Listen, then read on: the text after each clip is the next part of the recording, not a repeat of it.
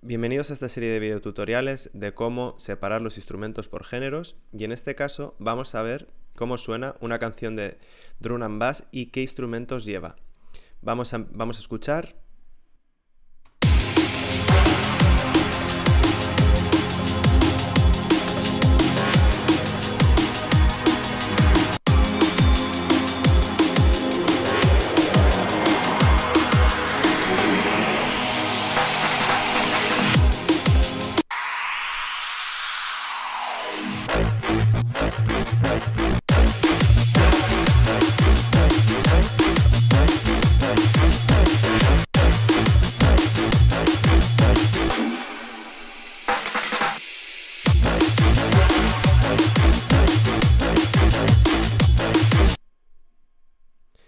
Vale, pues hasta aquí vamos a ver qué lleva.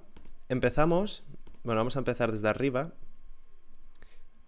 Perdón, desde aquí.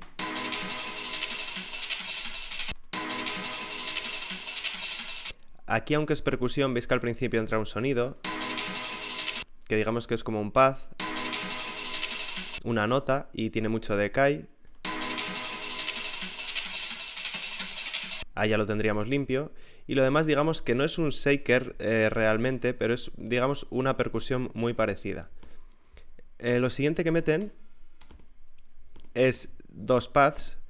Normalmente son sonidos de sintetizadores, como puede ser Unisphere, eh, Serum, Spire, Access Virus, hay muchísimos. Otro path. Y digamos que sin esto sonaría así. Y con el path, digamos que le envuelve más el sonido. Y le da mucho más rollo. Lo siguiente, mete unos hats.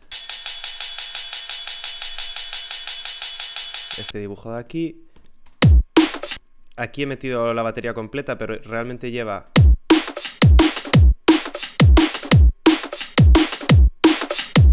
bombo y caja y snare. Lo siguiente, otros hats. Estos sí están bastante más claros. Y están abiertos. Normalmente la diferencia de un hat cuando pone open y, close es que eh, es cuando el platillo, a ver si tengo por aquí algún dibujo. Mm, no, pero bueno, para que os hagáis una idea, es cuando el plato de la batería está abierto o está cerrado, ¿vale? Por eso suena a veces más, más corto o digamos o más largo el sonido. Lo siguiente también mete otros cymbals.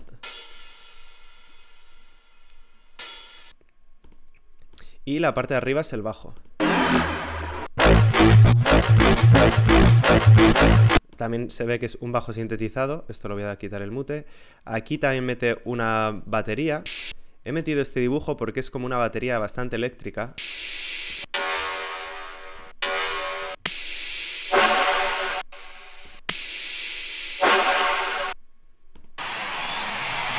Y además que tiene efectos de sonido. Aquí también mete algún efecto para darle más profundidad. Mirar sin el efecto. Le da bastante más profundidad. Es un efecto...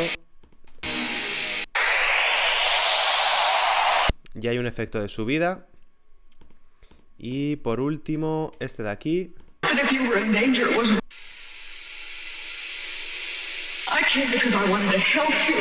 También es un efecto de subida. Digamos que aquí mete varios sonidos también. No está... O sea, esta pista serían tres o cuatro pistas seguro. Y aquí lo mismo, mete otro efecto de subida. Eh, Veis que está a 87 BPM y normalmente esta música suele estar bastante más acelerada. Yo he llegado a ver temas eh, de drum and bass incluso a 140, 150 BPM. Pero bueno, aún así suena bastante bien. Bueno chicos, espero que os haya gustado, que os suscribáis al canal y nos vemos en el siguiente tutorial.